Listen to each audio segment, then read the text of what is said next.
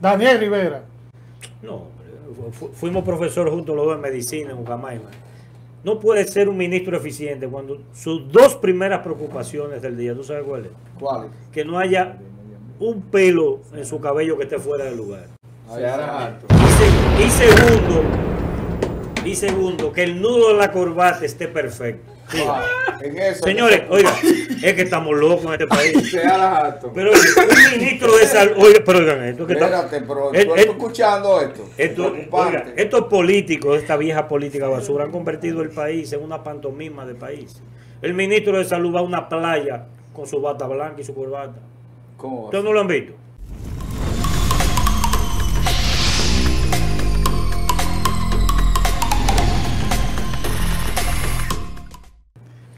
Oye, Seara Jato. En este país, en los últimos 20 años, han secado más de 600 pequeños ríos y arroyos. Dos, el Yaque del Norte, la segunda cuenca hidrográfica más importante de este país, ha perdido el 73% de su agua. El río más largo del país. ¿Eh? Tenemos el pasivo medioambiental que representa compartir una isla con Haití, porque en términos medioambientales es un solo ecosistema la isla. Entonces tenemos ese problema de aquel lado, de la devastación incontrolable que de manera cultural el, haitiano ejerce sobre su entorno. Eso es inevitable. Si tú quieres que un haitiano no deprede, corta las dos manos. Pero mientras tenga manos, va con un machete y va a depredar. Eso está en su ADN eh, establecido. Entonces tenemos un famoso ministro del medio ambiente que el mismo tipo dice públicamente, yo de esto no sé. Dígame. Pero qué carajo usted hace ahí si usted no sabe de eso hombre que tiene nietos, váyase a cambiar pañales y hacerle musaraña a los nietos, caballero. Respétese y respete el país. Pero, pero no, no, manga por hombro. ¿Y los permisos? Que me vengan a hablar de los permisos de las minas y de la grasera, ¿cómo que lo están manejando? Pero miren los problemas que tenemos aquí en Villa González. Que ¿Dónde se habla, Que se habla que está el gobierno metido en lleno. Cuando usted habla que el propietario de, la constructora técnica, lo digo con, con, con responsabilidad, el ministro de Agricultura y que aquí le dan los permisos como nada y están depredando a Villa González, toda esa loma por ahí. Entonces, andamos bien. Pero donde se habla una uh, donde se habla que supuestamente un tío de la, de la vicepresidenta te está a ti depredando toda esa loma de atrás. ¿Y quiénes son los que le dan los permisos? mira, no andamos bien. Mira, cuando una sociedad y una autoridad y un gobierno no cuidan con celo y esmero el medio ambiente. Porque señores, miren, como civilización humana tenemos dos desafíos enormes. Uno es la disrupción tecnológica. El mundo que hemos vivido no tiene nada en común con el mundo que vamos a vivir en los próximos 5 o 10 años. Mm. Es un desafío de la humanidad, la disrupción tecnológica, que va a generar más de mil millones de desempleados.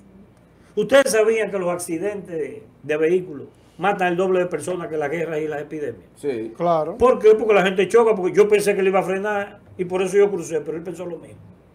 Pero en el mundo que viene de los carros autónomos, eso debe reducirse a un 95%. Claro, por eso se van a necesitar menos médicos y menos área de traumatología en los hospitales.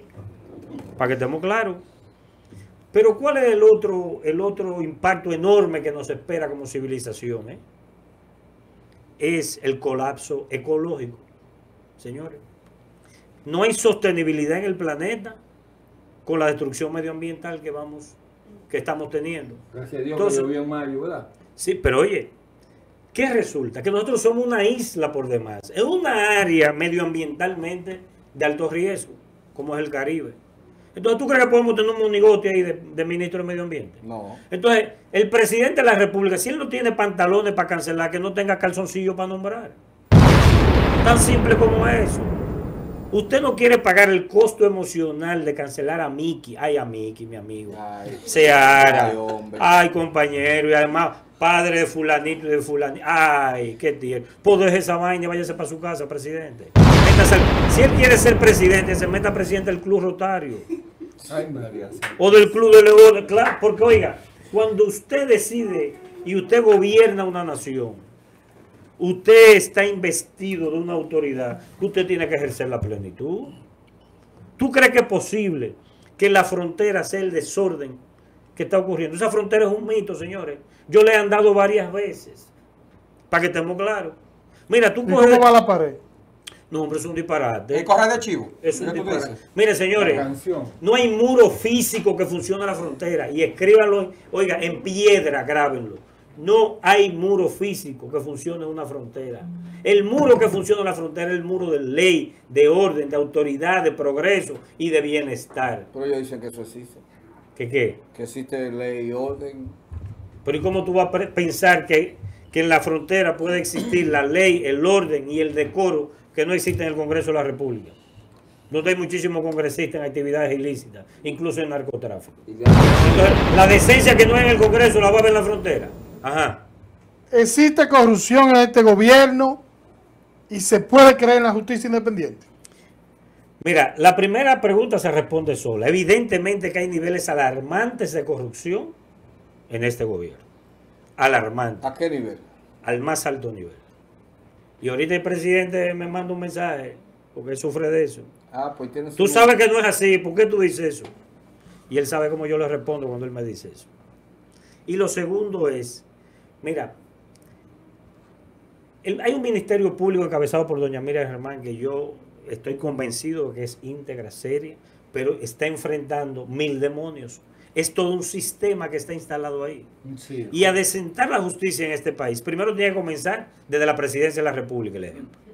Vamos a estar. Claro, el que esté, en este caso de Luis Abinader. Oye, ¿dónde estuviera Luis Abinader si cuando nosotros denunciamos a Macarrulla lo quita el otro día? Pero nunca lo quitó. Macarrulla, oye, lo ofendió, le habló duro, le trayó la puerta del despacho y ni así lo canceló. Tuvo el que fuerte. Ay, pero es que el hijo de... de, de- de- ¿De quién? ¿De eh, quién? Dice que Lisandro Macarrulla es el papá de Lisandrito, que es amigo de la hija mía. Ay, yo no le puedo hacer eso a, la- a esa familia. Y a la doña que yo he cenado allá. Pero cuatro dígamelo a mí veces. en los oídos. No, hombre, entonces así. Oye, Luis Abinader definitivamente le falta el 90% del carácter que se necesita para gobernar un país como este en una época como esta. No está a la altura de lo que el cargo impone en este momento histórico del país. El que no cogió esa fue. Joan el que- Santana. El que mató a Orlando Jorge Mera, no cogió ese. En mi cuarto. Eh, analizando las opiniones ambos invitados han ido desarrollando, yo me pregunto si, según su punto de vista en cuanto a lo que fue el gobierno de Leonel Fernández, eh, que fue un gobierno que todavía estamos lamentablemente teniendo rafagazos de ciertas políticas que más la corrupción que se percibe en este gobierno. Entonces, no tenemos en las próximas elecciones un candidato, bueno, ahí está también el candidato Abel Martínez. No tenemos entonces salvación en las próximas elecciones. No hay un candidato que verdaderamente pueda identificarse con la causa que ustedes representan. Mira, históricamente ha sido una constante histórica a través de los siglos y los milenios que las crisis van generando sus soluciones. Aquí se nos, no tengan ninguna duda de que antes o a más tardar en el 2028, a más tardar en el 2028, anótenlo, surge una nueva clase gobernante en este país. Inclusive puede surgir en el 24. ¿Por Todavía hay esperanza. Claro que sí, y hay tiempo. Lo- mira, los procesos políticos y de comunicación, lo que antes te tomaba cinco años, ahora tú lo ejecutas en cinco meses. Y es una constante, no estamos inventando na- nada nuevo. Boris, en el, el actual presidente de Chile, comenzó seis meses antes, con un nivel de desconocimiento de la sociedad chilena de más del 90% del presidente de la República. Pedro Castillo, un profesor de primaria del Perú olvidado y profundo, comenzó ocho meses antes y llegó a la presidencia de la República. Hoy día, hoy día, en Guatemala, Carlos Pineda, tipo que sale de la nada, y en tres meses se metió a un 25%. Eh, hace un mes que fueron las elecciones en Paraguay, salió un tipo que se llama Payo Cubas. De la nada, ¿eh? Y en tres meses sacó casi 25% en las elecciones. Entonces el mundo cambió. Esta es otra época. Los estados emocionales abrazan causas. Y aquí va a ocurrir. Puede surgir hoy, puede surgir mañana, puede ser Yadira, puedo ser yo, podemos ser los dos, pueden ser otros. Eso, eso no lo sabemos, pero como proceso sociopolítico, no tengan dudas de que este sistema y este ciclo se cierra. y te quiero decir algo. ¿Cuál es la diferencia entre Leonel Fernández, el PLD o Abel Martínez? Todos son ratas corruptas. Pero ratas de alcantarilla, enemigos de esta nación. Que el único lugar que le corresponde es el paredón. ¿eh? A los tres. Porque ven acá. ¿Tú crees que hay que ser un genio para entender que el mundo siempre va a consumir azúcar? Y nosotros éramos los tres entre los tres principales productores de azúcar del mundo, junto con Cuba y Brasil. Y este farsante se le ocurre que, que, que no tiene futuro la producción de azúcar. Y la regala, la descuartiza. ¿Pero por qué? Porque habían- ahí habían ingenios con 200 mil tareas, donde el 30% tenían vocación turística. Entonces lo vendemos como ingenio, pero es vocación turística. Dime. ¿Mm? Pero este sistema está podrido, señores. Miren, en el 2020, ¿qué ocurrió en el 2020? Bueno, que en el 2004 se funda una empresa que se llama Inversiones Turísticas Sanssouci. Tres socios. Juan Vicini, Lisandro Macarrulla y Osvaldo Yer Villalón. Qué cosita. Oye, ¿Qué pa- en el 4, ¿verdad? Oigan esto, les regala, ese es Leonel Fernández, ese es Leonel Fernández, que no es más que un cobarde, porque si fuera hombrecito, yo lo, yo lo reto que se, que se pare con Yadir y conmigo ante el país a hablar de este país. El que conceptualiza y con un intelectual que se atreve, a que nunca lo va a hacer. Y no porque nosotros somos poca cosa, es que no tiene los cojones para hacerlo. pero- Vamos a hablar, vamos- vamos a hablar claro. ¿Tú sabes lo que hace ese tipo? Le vende, entre comillas, a esa empresa cu- 495 mil metros de tierra, la avenida España, cuando usted cruza el puente flotante en la capital. Sí. Hermano, casi mil tareas de tierra en el corazón de la capital, hoy vale más de 800 millones de dólares. ¿Tú sabes a cambio de qué?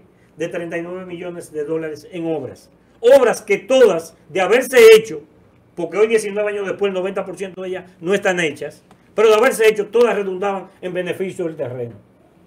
Dígame. ¿Y usted sabe qué? En el 2020, ¿qué ocurre? Bueno, que a Lisandro Macarrulla se lo insertan a Luis Abinader como el jefe de la campaña. Pues Y el otro socio de esa empresa, Osvaldo Oyer Villalón, ¿tú sabes que es jefe general de finanzas de la campaña de Gonzalo Castillo? O sea, no importaba si ganaba Luis o si ganaba Gonzalo. El ministro de la presidencia iba a ser uno de esos dos que son socios en la misma empresa y del mismo vecino.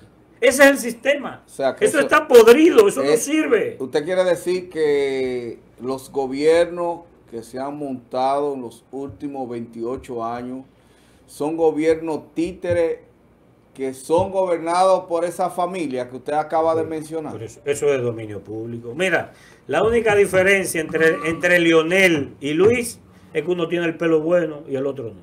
Y entre Luis y Danilo Medina es que uno tenía bigote y el otro no. No, ya. eso Y ya no tiene, o sea que se parece, son la- es lo mismo. Balaguer. Pero oye, Estamos pero, ese- jodidos. pero, pero- pero eso es así. ¿Y por qué tú crees que nosotros nos metimos en esto? ¿Por qué estamos metidos en esto? Porque algo hay que hacer. El sistema se derrumba, hermano. Esto no sirve, no funciona. No funciona. Aquí gastamos cerca de 50 mil millones de pesos en, en salud a los haitianos. Tienen incluso muchas veces preferencias sobre los dominicanos. ¿Y quién dice nada? ¿Y a quién le importa eso? Dígame. Aquí se compraron 1.500 millones de pesos en libros, cuyo contenido el mismo Ministerio de Educación había descartado. Y no hay uno preso. Y entonces, ¿qué es lo que me están hablando? Pero este que está, el ministro, hablando usted de educación, ahora está ofertando eh, cambiar los uniformes. Mira, yo estoy convencido que este ministro es un hombre serio que quiere hacer la cosa bien. Pero él dirige un monstruo ya de 250 mil empleados. Donde ahí hay macos y cacatas, donde quiera que tú mires y buscas, lo que sale de ahí es pus.